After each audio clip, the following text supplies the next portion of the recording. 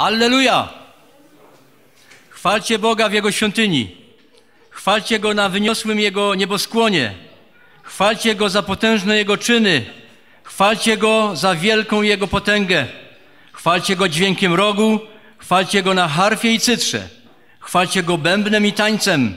Chwalcie Go na strunach i na flecie. Chwalcie Go na cymbałach dźwięcznych. Chwalcie Go na cymbałach brzęczących. Wszystko, co żyje, niech chwali Pana. Alleluja. Witam wszystkich bardzo serdecznie na dzisiejszym koncercie, którego takim słowem przewodnim, mottem jest właśnie ostatni werset z Psalmu 150, który przed chwilą przeczytałem. Wszystko, co żyje, niech chwali Pana. Wszystko, co żyje, niech chwali Pana. Bogu należy się wszelka chwała, wszelka cześć za to, co uczynił, za to, że nas stworzył, za to, że nam błogosławi, za to, że nas zbawił. Wszystko, co żyje, niech chwali Pana. Ale pytanie, czy żyjesz? Czy żyje? Można żyć fizycznie, a być martwym duchowo. I to, co dzisiaj będziemy słyszeć, te pieśni, które będziemy słyszeć, i słowo, i świadectwo, to wszystko ma posłużyć temu, aby ożył nasz duch, abyśmy zaczęli żyć dla Boga, aby wszystko, co żyje, co żyje we mnie, co żyje w Tobie, mogło uwielbiać naszego Pana, Boga Wszechmogącego przez Jezusa Chrystusa. Wszystko, co żyje, niech chwali Pana. Zachęcam Was, drodzy, do tego, aby otworzyć swoje serca, swoje umysły na to, co Duch Święty będzie chciał nam powiedzieć dzisiaj.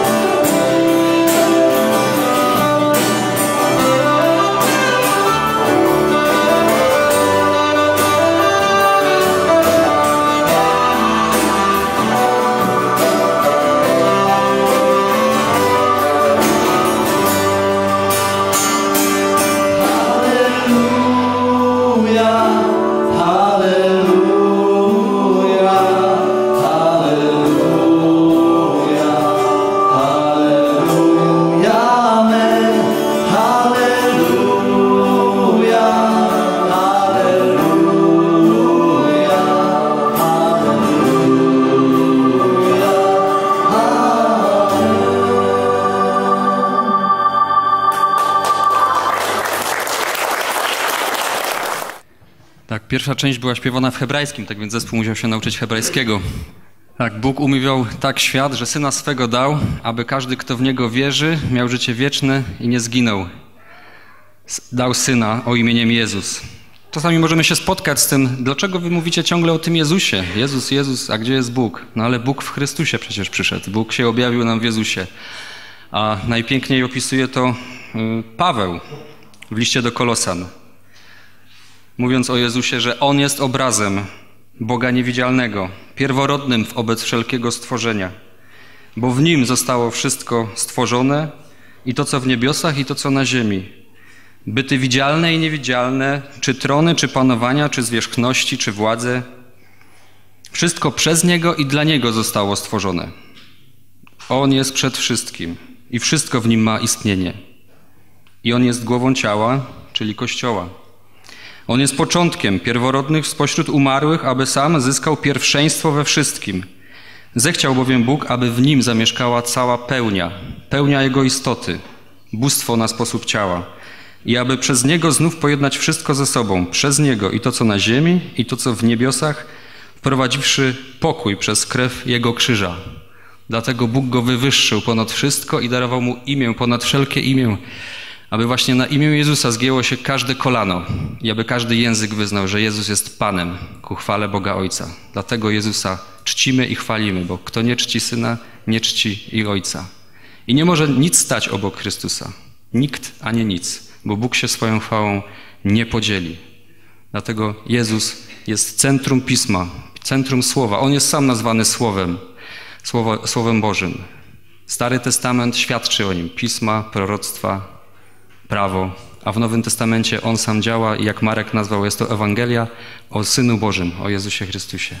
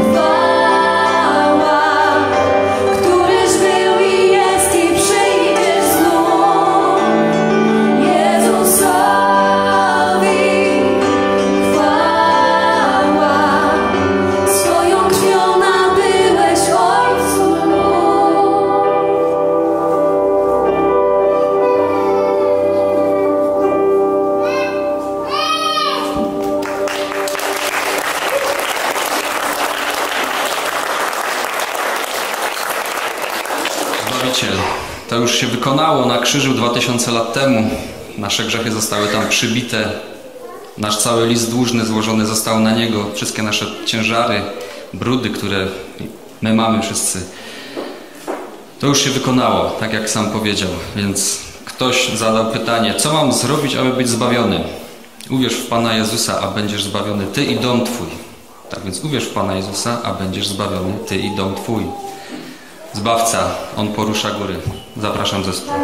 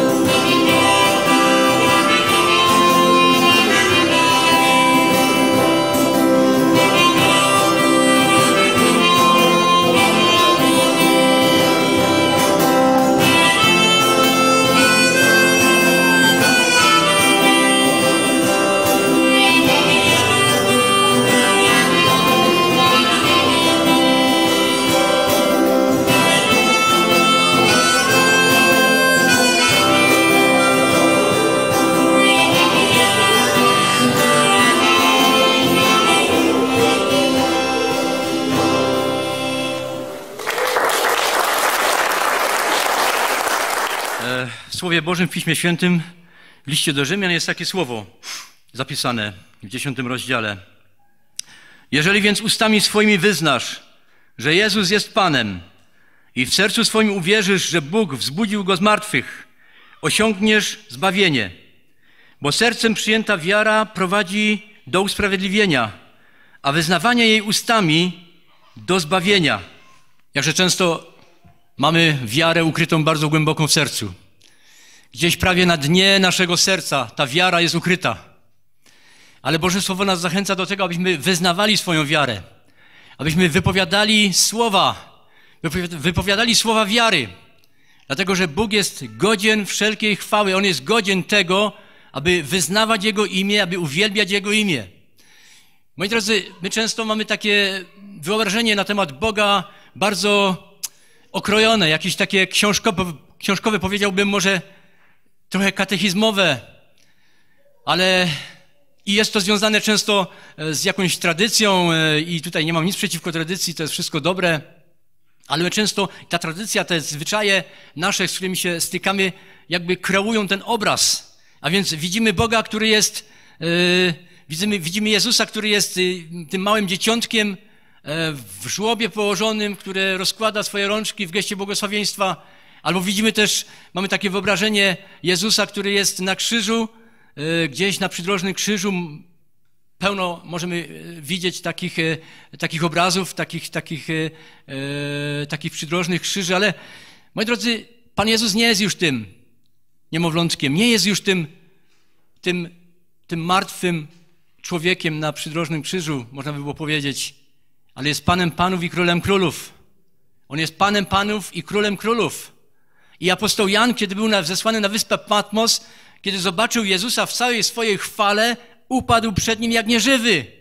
Bo zobaczył Jezusa, który wyglądał jakby, jakby słońce w całej swojej blasku, w całej swojej pełni. Był przepasany złotym pasem. Jego włosy były jak biała, jak wełna. Jego głos jak szum wodospadu.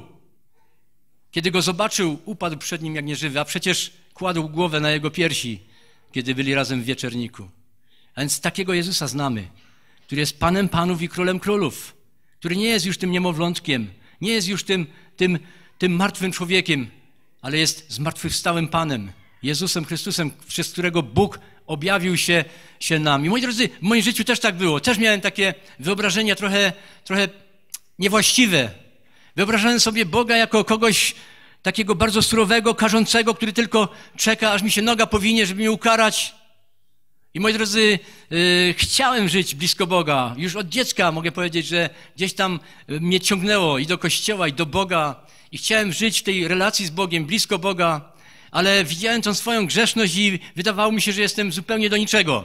Że jestem niegodny i Bóg tylko chce mnie ukarać. Nie miałem tego właściwego poznania Boga. Nie wiedziałem, nie byłem świadomy tego, że On jest Bogiem, który mnie kocha, który mnie miłuje. A więc próbowałem jakoś o własnych siłach starać się być takim dobrym, porządnym człowiekiem, ale niestety to mi nie wychodziło. Kiedy zacząłem już dorastać, kiedy wchodziłem w ten wiek, e, prawda, buntu młodzieżowego, zapuściłem długie włosy, e, później stwierdziłem, że to nie to, więc zgoliłem głowę, popadałem w jakieś skrajności, z jednej skrajności w drugą skrajność, dlatego, że miałem pustkę w sercu, dlatego, że miałem dziurę w sercu w kształcie Boga i ten otwór w kształcie Boga mógł wypełnić tylko On tylko Jezus Chrystus. Nie mogła to być muzyka, nie mógł to, nie mógł to być alkohol, e, który zresztą też e, w moim życiu bardzo, e, bardzo mocno się zaakcentował. I to wszystko przytłaczało mnie, to wszystko nie dawało pokoju do mojego serca. Nie mogłem o własnych siłach nic uczynić ze swoim życiem, chociaż wielokrotnie próbowałem. Był taki dzień, to jest długa historia, nie będę e, tego wszystkiego w szczegółach opowiadał, ale pamiętam, że kiedy zacząłem spotykać się e, z moją żoną, to wtedy zaczęliśmy rozmawiać coś o Bogu. A więc zaczęliśmy mówić o Bogu, że Bóg jest inny niż ten, który, niż sobie go w jakiś sposób wyobrażam. I pewnego razu był taki jeden, taki pewnego wieczoru, kiedy byliśmy razem, kiedy rozmawialiśmy, słuchałem kasety magnetofonowej, wtedy kasety magnetofonowej, teraz już są tylko płyty, pendrive, różne inne rzeczy, ale wtedy były kasety. Słuchałem tej kasety i na tej kasecie były piosenki chrześcijańskie, religijne piosenki. I kiedy zaczęliśmy rozmawiać e, z moją obecną żoną, wtedy jeszcze narzeczoną, i zaczęliśmy snuć refleksję o życiu i o Bogu, i wtedy zrozumiałem, że kiedy słuchałem tych piosenek, chociaż słuchałem je wielokrotnie, wiele razy, kilkanaście razy, ale tego wieczoru jakby dopiero one dotarły do mojego serca, przebiły się przez jakąś zasłonę, tak? I wtedy usłyszałem to przesłanie, które płynęło z tych pieśni. I zrozumiałem, że to, czego szukałem w swoim życiu, to jest właśnie relacja z Jezusem, relacja z Bogiem. I moi drodzy, tak to jest. I wtedy jeszcze powiem, że moje życie się zupełnie zmieniło. Całkowicie, całkowicie. W jednym momencie to było bardzo dramatyczne moje nawrócenie. Bóg uwolnił mnie od, od nadużywania alkoholu, chociaż wtedy, y, i, bo wtedy no, nadużywałem tego alkoholu. Miałem 20 lat, byłem młody e, i znaczy nadal jestem młody, ale wtedy byłem młodszy. Więc nadużywałem alkoholu i w zasadzie, kiedy byłem dzieckiem, to postanawiałem sobie, że nie będę, nie będę taki jak, jak inni ludzie, nie będę jak, jak mój ojciec, który nadużywał alkoholu. Myślałem sobie, to nie, to nie, tego nie będzie w moim życiu, ale kiedy już miałem tych 16 lat, 17 lat, również stało się to moim udziałem.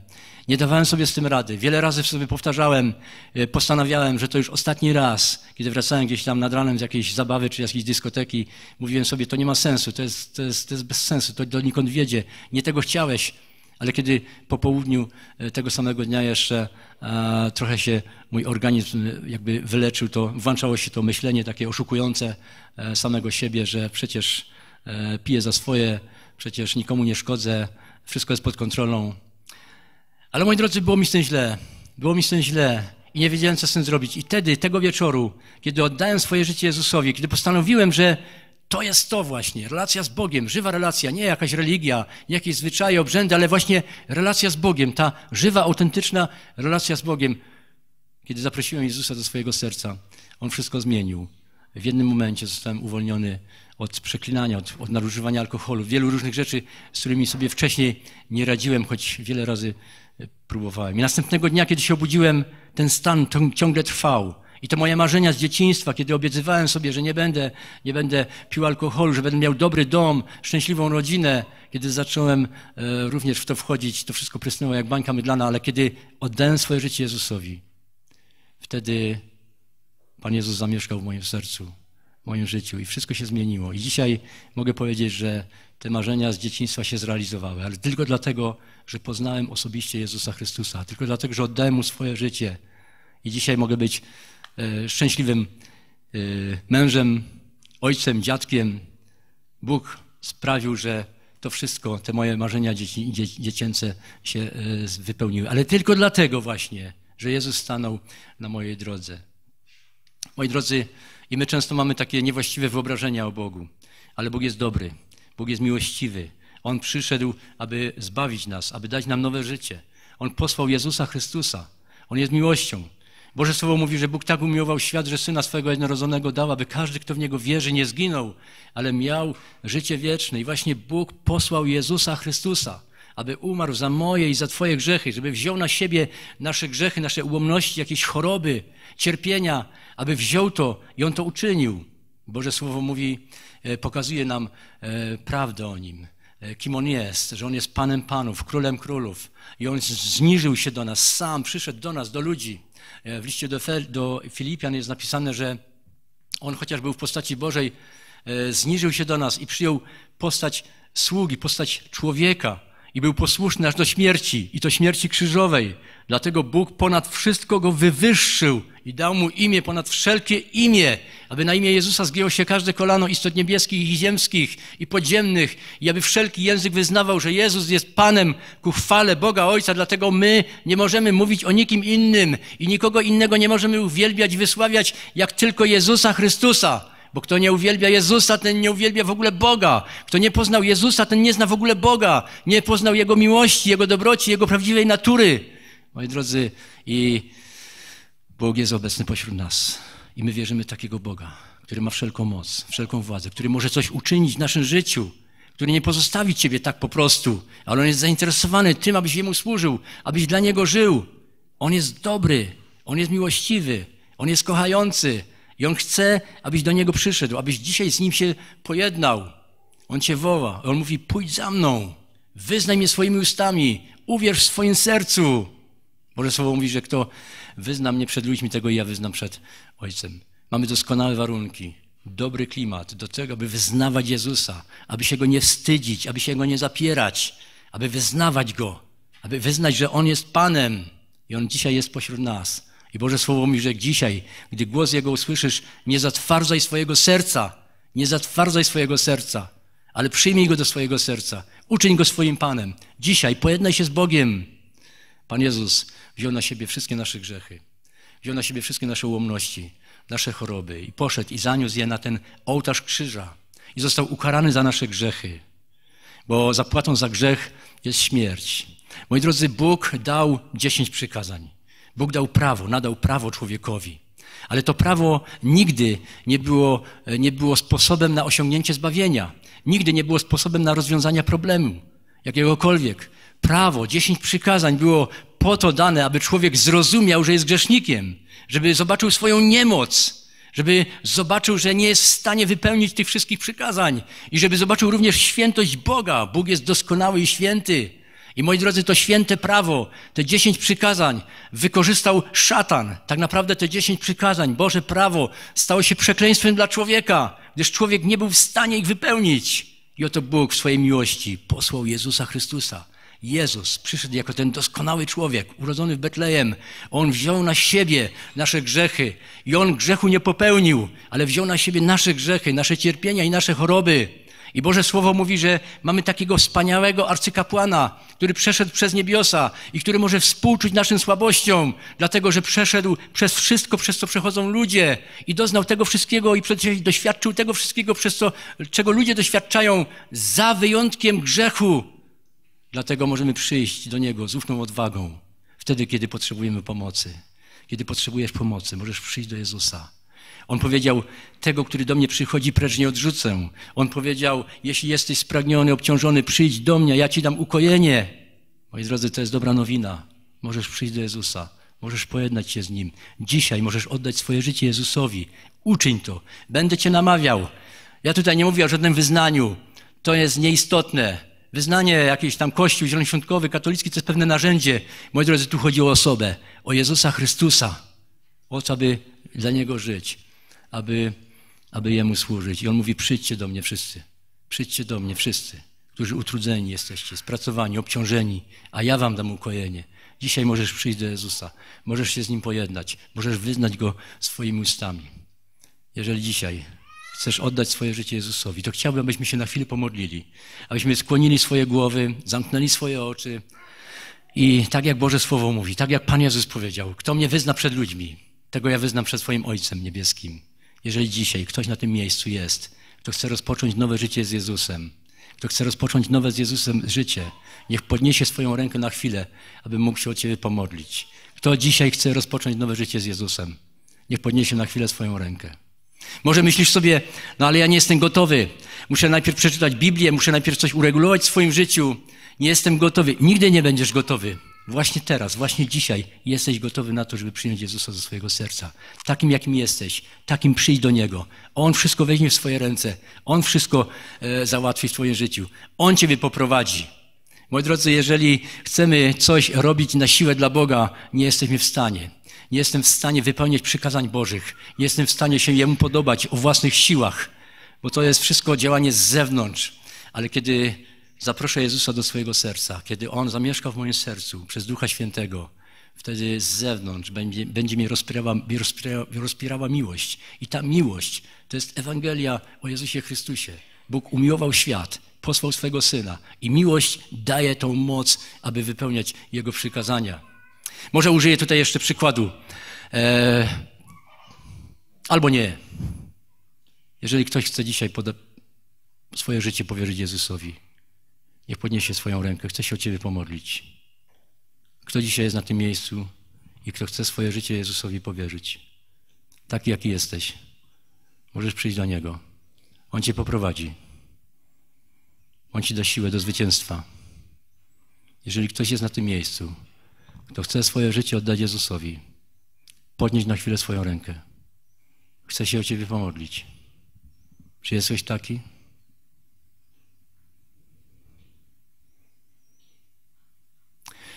Może chcesz to uczynić w swoim sercu. A więc ja teraz poprowadzę Cię w modlitwie. Powtarzaj słowa modlitwy po cichu w swoich myślach, jeżeli chcesz swoje życie złożyć Jezusowi. Panie Jezu, wyznaję, że jestem grzesznikiem, a dziękuję Ci, że umarłeś za mnie, że przebaczyłeś wszystkie moje grzechy, że teraz mogę stać przed Tobą a Twoja święta krew mnie oczyszcza. Wyznaję Cię swoim Panem. Dziękuję Ci, że będziesz mnie prowadził. Amen. Kochani, zanim następny zespół zaśpiewa, czy następny wykonawca, to chciałbym, żebyśmy się jeszcze pomodlili. Króciutko. Może powstańmy do tej modlitwy. Panie nasz Boże, dziękujemy Ci za ten czas, za to, że możemy tutaj być, Panie, u Twoich stóp, że możemy Ciebie uwielbiać, Panie, tymi pieśniami, świadectwami, słowem. Panie, dziękujemy Ci za to wszystko, co uczyniłeś dla naszego zbawienia, że Ty, Panie, sam się zniżyłeś, że dałeś nam to zbawienie za darmo z łaski, Panie, a dziękuję Ci, że mogliśmy to przyjąć. Panie, proszę Cię o te osoby, które dzisiaj podjęły decyzję, aby Tobie służyć, aby dla Ciebie żyć. Błogosław je, Panie. Prowadź, Wypełnia je swoją obecnością, swoim Duchem Świętym. Niech Twoje święte imię będzie uwielbione. Amen. Chwała Panu Jezusowi. Bardzo cieszę się, że mamy teraz taki dobry czas, że możemy uwielbiać Pana Jezusa, Jego święte imię. I e, pastor powiedział kilka dobrych słów. Właściwie wszystkie jego słowa były dobre. E, I cieszę się, że właśnie w jego życiu tak było, bo w moim życiu było właściwie podobnie. E, jestem osobą stosunkowo młodą, także może jakoś bardzo dużo nie zdążyłam przeżyć, ale to, co najważniejsze, to już się wydarzyło. Pochodzę z rodziny, która jest, mm, która kocha Pana Jezusa i zawsze byłam wychowana w taki sposób, że chodziliśmy do kościoła, że tata nam czytał Biblię, że mogliśmy razem spędzać czas i naprawdę czułam się kochana. Ale mimo wszystko to życie z Bogiem wydawało mi się takim, um, takim życiem, gdzie muszę coś robić cały czas. Że to jest po prostu styl życia, że to jest pewna, pewien schemat taki, tak jak ktoś jest, nie wiem, wegetarianinem, nie je mięsa, to jest po prostu jego życiowa zasada. Tak samo moją życiową zasadą jest to, że kocham Pana Jezusa i żyję tak, jak On by chciał, żebym żyła. Mm, I gdy zaczęłam dorastać, to już mi się nie podobało, bo chciałam sama moje życie układać, chciałam definiować, kim jestem, co robię i nie chciałam się poddawać pod żadną władzę. Chciałam sama stanowić o sobie. Mimo wszystko e, moi rodzice, gdy to widzieli, to bardzo zabiegali o to, żebym e, czytała Biblię, żebym się jakoś przybliżała do Boga, ale ja tego nie robiłam i oni byli na tyle troskliwi, że nie miałam możliwości, żeby robić jakieś szalone rzeczy, ale mimo tego, że tego nie robiłam fizycznie, to chciałam to robić. I myślę, że to już samo w sobie, to, że tak bardzo ktoś chce i szuka tylko jakiejś e, predyspozycji, żeby to zrobić, to już jest wystarczające, żeby powiedzieć, że to jest złe, że, że coś jest złego w sercu tego człowieka. Myślę, że każdy z nas gdy jeszcze nie poznał Pana Jezusa, gdy nie oddał mu swojego życia, właśnie takim był, złym człowiekiem, bo e, zdarza się każdemu czy coś złego pomyśleć, czy zrobić. I mamy taką naturę grzeszną. Ale e, gdy tak sobie dalej żyłam e, z moimi myślami i planami na dalsze lata, to zaczęły się różne rzeczy e, wydarzać w moim życiu, które sprawiły, że zaczęłam rozmyślać o tym, E, dokąd zmierzam i w ogóle po co tutaj jestem na tym świecie, bo zobaczyłam, że wszystko przenika. Że ludzie umierają, ludzie odchodzą, że pieniądze się kończą, e, że szkoła, praca nie za wiele dają, bo to też się kiedyś kończy, dobra praca się kończy. To, że masz wykształcenie, to jeszcze cię nie definiuje, bo możesz być końcem końców niezdolny do wykonywania czegoś. I chciałam mieć w życiu jakiś stały fundament, na którym będę budować. Początkowo chciałam budować na pieniądzach i karierze. Uważałam, że to jest dobre, dlatego że będę się dużo uczyć, będę miała dobry zawód, później będę miała dużo pieniędzy i będzie cały czas dobrze, będzie stabilnie, bo nie będzie mi brakowało ani na chleb, ani e, na żadne moje przyjemności.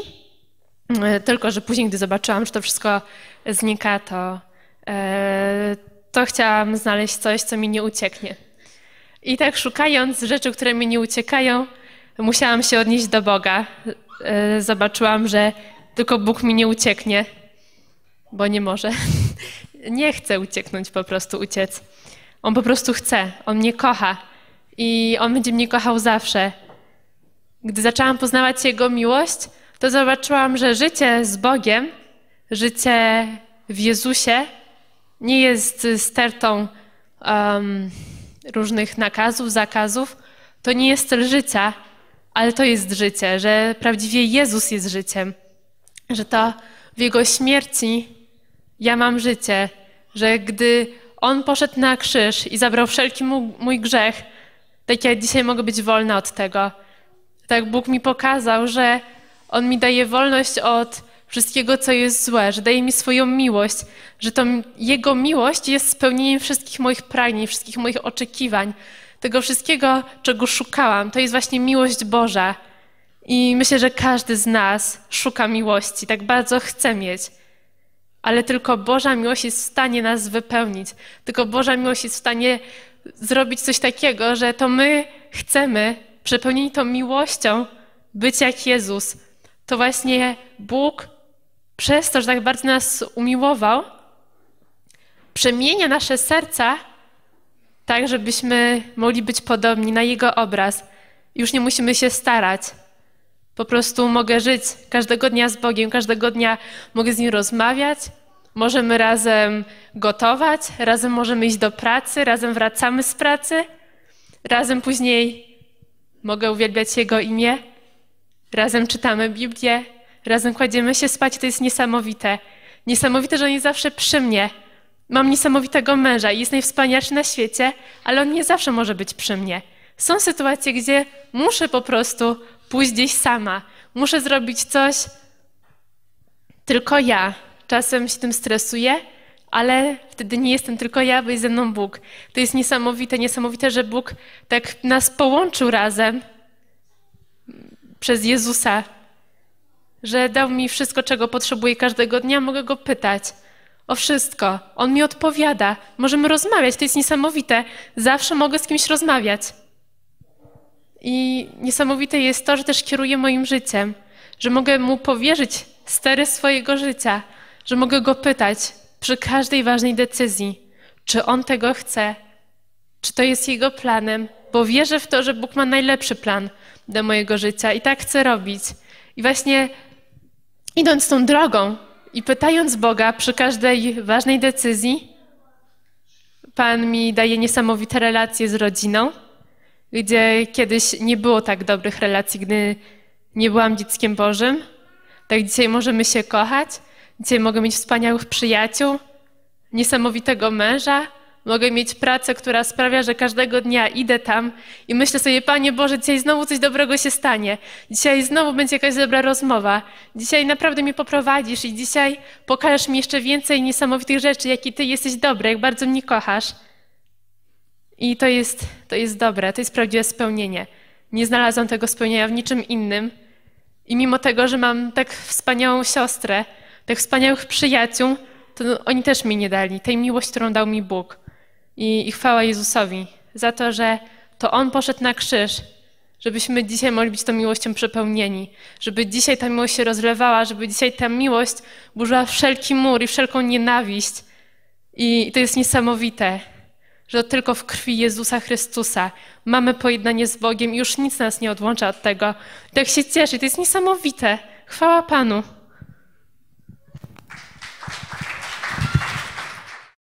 Śpiewać pieśń Błogosławię Cię, błogosławić będę imię Twe.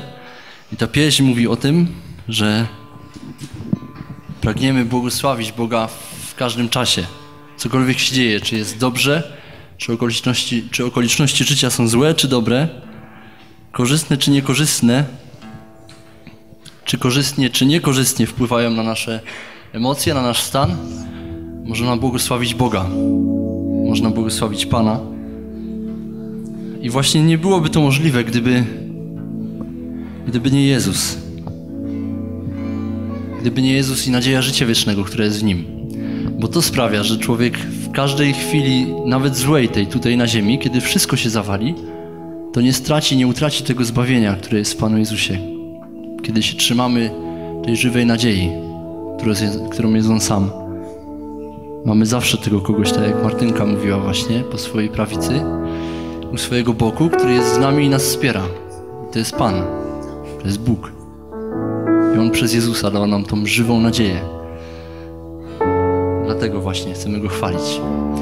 Jeśli zechcecie, dołączcie z nami do refrenu.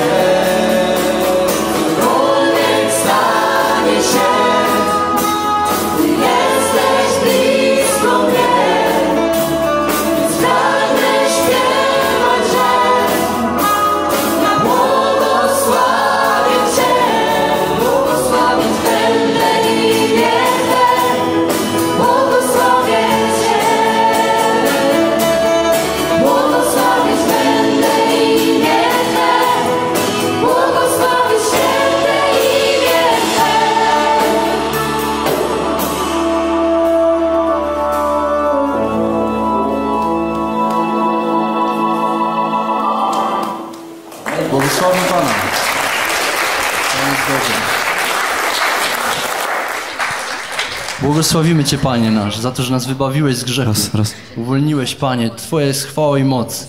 Dzięki Ci za to, że możemy Ci śpiewać i Ciebie znać, Panie. Halleluja. Jeszcze jedną pieśń zaśpiewamy. Jego miłość.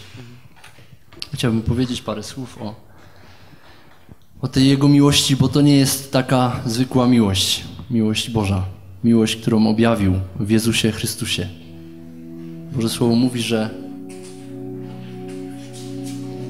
poznać tą miłość. Boże Słowo mówi o tym, że myśmy uwierzyli i poznali tą miłość, którą Bóg ma do nas, a ta miłość jest w Jego Synu. Ta miłość Boża, którą możemy poznać, możemy ją poznać tylko i wyłącznie przez Jego Syna. To jest droga do poznania tej miłości. I to jest droga, którą dzięki Bożej łasce mogłem wybrać. Każdy z nas tutaj mógł wybrać tą drogę, którą jest Jego Syn, Jezus Chrystus. I po prostu nie da się inaczej poznać Bożej miłości, niż tylko poznając to, co Jezus Chrystus dla nas zrobił. Ten krzyż, to, co On wycierpiał tam za nas, aby nas wybawić i wyzwolić z tego świata i z tej porządliwości, z tego grzechu, z tej doczesności, z tej beznadziei, aby nas przenieść do chwały swojego królestwa, abyśmy na wieki żyli z Nim. To jest dobra nowina, to jest ta cudowna nowina i każdy z nas, jak tu jesteśmy, miał jakiegoś ojca, jakichś rodziców, jakieś bliskie osoby w swoim życiu i te bliskie osoby w mniejszy lub większy sposób darzyły nas miłością. W różny sposób. Może są na tej sali osoby, które nigdy nie doświadczyły miłości albo doświadczyły czegoś, co miałoby być miłością, ale nie było tą miłością. I wielu ludzi, wielu jest takich ludzi i wątpią w miłość nawet. Mówią, nie ma miłości. Albo doświadczyliśmy miłości i w sumie nasze życie było piękne, ale nigdzie nie ma takiej miłości jak źródło, które jest w Bogu. Źródło miłości, którym jest Bóg, który też jest Ojcem. Ale właśnie On nie jest takim Ojcem jak ziemscy ojcowie. On jest daleko, daleko, daleko doskonalszy. Nieporównywalnie doskonalszy. On jest też jak mąż dla swojego ludu. Ale to jest doskonały mąż, który nigdy nie zawodzi, który nigdy nie uchybia, który zawsze troszczy się, stara, jest pełen miłości. On, Bóg w Jezusie Chrystusie, jest tym, który daje nam miłość. I On was kocha, drodzy. On nas kocha. Każdego z was, ciebie kocha. Ten Bóg. I chce, żebyśmy poznali Jego miłość. I ta miłość jest w krzyżu Pana Jezusa. Pan Jezus Chrystus przyszedł, aby umrzeć za nasze grzechy. I myślę, że wszyscy o tym wiemy. Ale On zrobił daleko więcej. On umarł za naszą grzeszność. On umarł za ten brud. Gdyby Jezus Chrystus umarł tylko za nasze grzechy, moglibyśmy czasem przyjść do Niego, przeprosić, mieć odpuszczenie jakichś grzechów, ale Jezus zrobił daleko, daleko więcej. Jezus umarł za grzech. Jezus wziął na siebie karę za grzech. Jezus wziął na siebie karę za Twój grzech.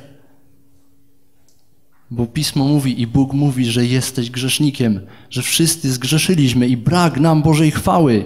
I nie jesteśmy w stanie dojść do Bożej doskonałości i podobać się Bogu w oparciu o nasze starania, zasługi i uczynki. Nikt z Was, nikt z nas tutaj nie jest w stanie przypodobać się Bogu, bo wszyscy zgrzeszyli. Wszyscy równo zgrzeszyli. Wszyscy jesteśmy z tej doczesności ulepieni z gliny i każdy z nas wie, co to jest słabość i grzech. Może są tu osoby, które myślą sobie, ja tam nikogo nie zabiłem, ja jestem okej, okay. ale tak naprawdę jesteś grzesznikiem, brudnym przed Bogiem. Nie zasługujesz na życie wieczne. Nigdy nie możesz dostać Bożej chwały, bo wszyscy zgrzeszyliśmy. Nie ma usprawiedliwienia dla ciebie. Nie ma. Nie ma usprawiedliwienia. Nikt się przed Bogiem nie usprawiedliwi. Wszyscy winni są zatracenia. Karą za grzech jest śmierć, oddalenie od Boga. Ale Bóg tak nas umiłował, Ciebie i mnie, że Jezus Chrystus poszedł na to zatracenie za mnie i za Ciebie. W najgorsze odmęty Hadesu, do piekła, w oddzielenie od Boga.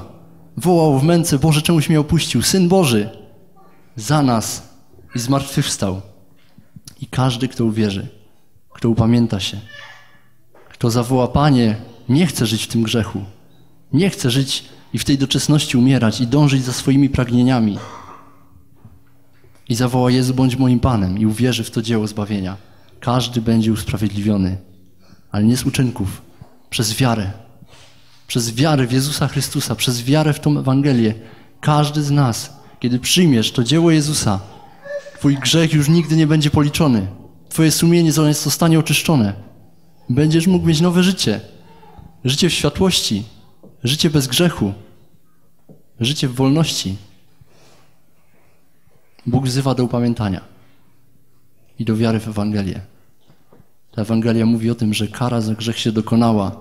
Jeśli przyjmiesz Jezusa Chrystusa, to Bóg już nigdy nie ukaże cię za grzech. Bo Bóg jest sprawiedliwy i nie ukaże grzechu dwa razy. I Bóg ukarał w Jezusie Chrystusie. On jest drogą. Wejdźmy na tę drogę. Wejdźmy do tej drogi. Poznajmy Jego miłość. Bo już czas szukać Pana. Jego miłość.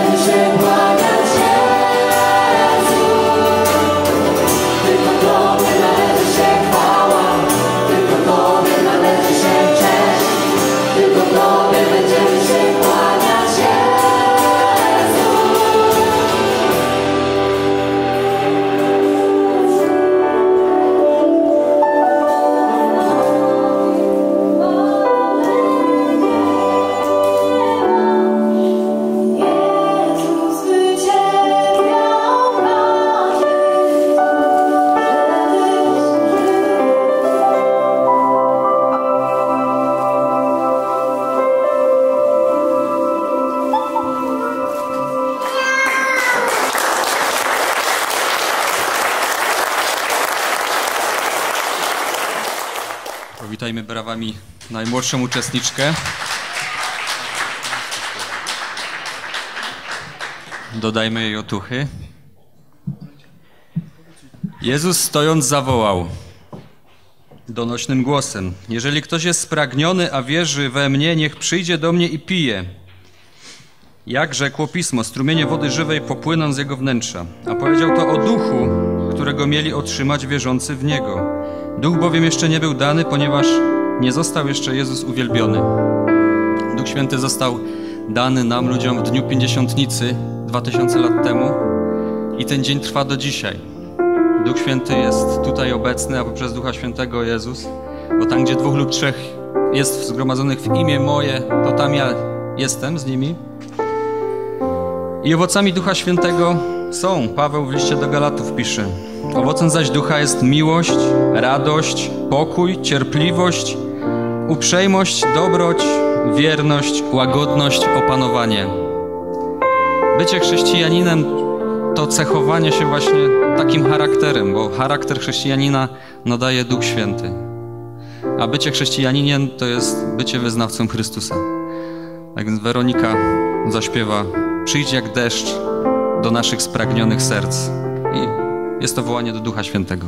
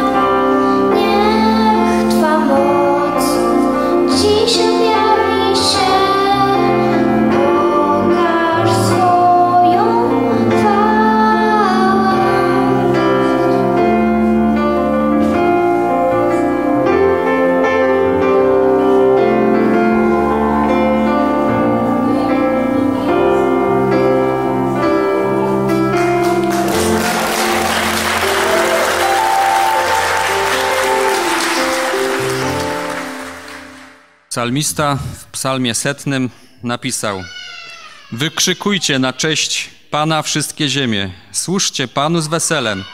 Wśród okrzyków radości stawajcie przed Nim. Wiedzcie, że Pan jest Bogiem. On sam nas stworzył, my Jego własnością. Jesteśmy Jego ludem, owcami Jego pastwiska. Wstępujcie w Jego bramy wśród dziękczynienia, wśród hymnów w Jego przedsionki. Chwalcie Go i błogosławcie Jego imię, albowiem dobry jest Pan. Łaskowość Jego trwa na wieki, a wierność Jego przez pokolenia. Wykrzykujcie na cześć Pana. Zespół, zespół w utworze Krzycz naszym królem jest Jezus. Tak więc nieraz po prostu z radością ktoś wykrzykuje, ale psalmista jak wykrzykuje, to my też możemy. Zapraszam zespół.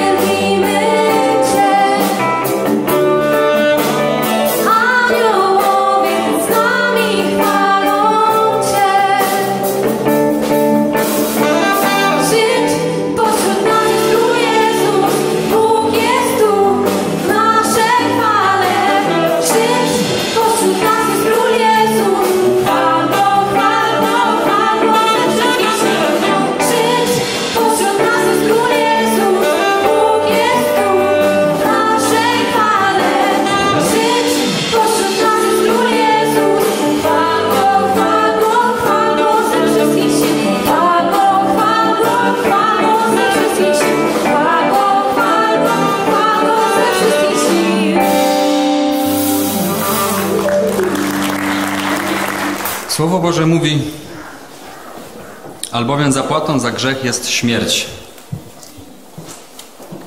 Nie rozróżnia tutaj grzech lekki, ciężki, duży, mały. Zapłatą za grzech jest śmierć. Ale tutaj nie ma kropki i Bóg znajduje rozwiązanie. A łaska Boga dana to życie wieczne w Chrystusie Jezusie.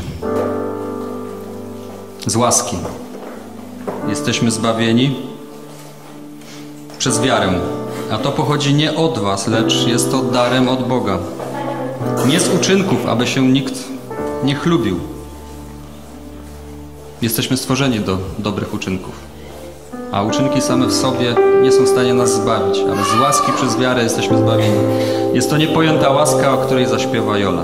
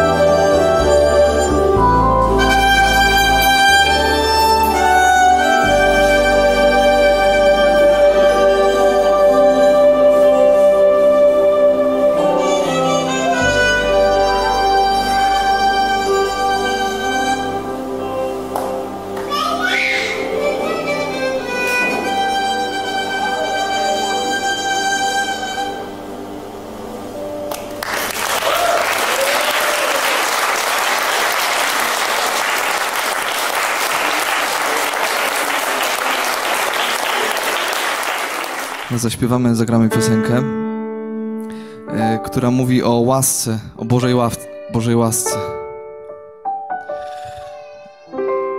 O tym, jaki Pan jest łaskawy, jaki jest współczujący. I to jest piosenka po prostu czyste jak uwielbienie i myślę, że można też w tej piosence, jak będziemy ją grać, jeżeli nie będziecie znali słów, co jest bardzo prawdopodobne, bo mało, znana piosenka może w tych kręgach, ale zachęcam do tego, żeby gdzieś w sercu, może w umyśle, żeby to śpiewać, a tam słowa są proste, więc jeżeli się ich nauczycie szybko, to możecie też z nami śpiewać jak najbardziej. To na chwałę, halleluja.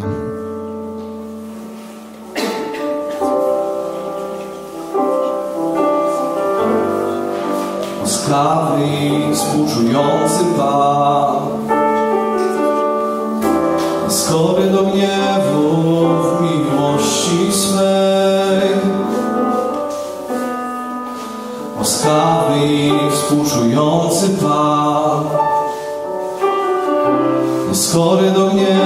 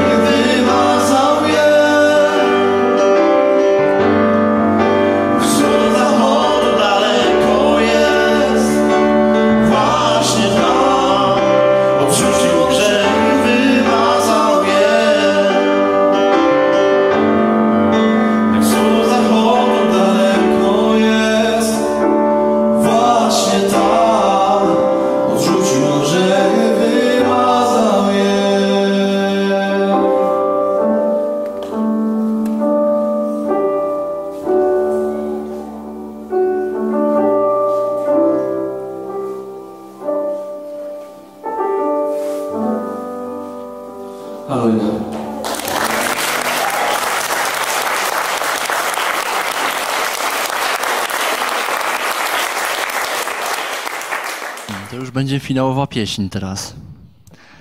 Więc zapraszamy wszystkich dzisiejszych wykonawców tutaj do nas, do wspólnego śpiewu. Chodźcie. E, Będziemy śpiewać z wiarą wstań. Więc zachęcam wszystkich nas, abyśmy powstali. Wstańcie, drodzy. Chcemy zaśpiewać tą pieśń razem. Jest bardzo prosta. Mówi o tym, że Jezus, Zbawiciel nasz, jest Panem nieba. Ja czegoś wcześniej nie do końca nie dopowiedziałem. Nie dopowiedziałem tego, że Bóg Pana Jezusa Chrystusa wzbudził z martwych i posadził na najwyższym miejscu w niebie. Jako Pana i Władcę wszystkiego. Całego nieba i całego stworzenia. Jego, Pana Jezusa, tego, który cierpiał śmierć za nas. Dlatego tą drogą każdy z nas może otrzymać Ducha Świętego przez wiarę w Jezusa i cieszyć się radością tej chwały, którą On sam uzyskał, Pan Jezus, tej chwały w nas. Możemy mieć tą radość i tą nadzieję. Zaśpiewajmy razem.